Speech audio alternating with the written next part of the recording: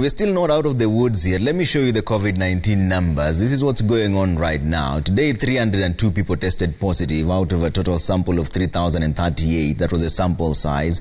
That makes the positivity rate at 9.9%. That's a number we don't want to see because it's supposed to be less than 5% for 14 days consecutively if we're to be out of the woods. That's not all, though. The total number of confirmed cases are now 83,618. What makes it even worse is the death toll, which is I'm about to show you what's really going on right now. 17 people succumbed to COVID-19 in the last 24 hours, that bringing the death toll to 1,469. But there's been a bit of progress in the vaccine world where pharmaceutical company Moderna has applied to the US Food and Drug Administration for authorization of its COVID-19 vaccine.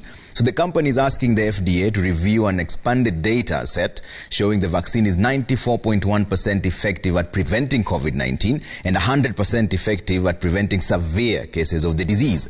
Moderna becomes the second company to apply to the FDA for emergency use authorization for a coronavirus vaccine. Pfizer applied on November 20th with data showing similarly high efficiency. The FDA will meet with its advisory committee on December to review Pfizer's and Moderna's applications as well.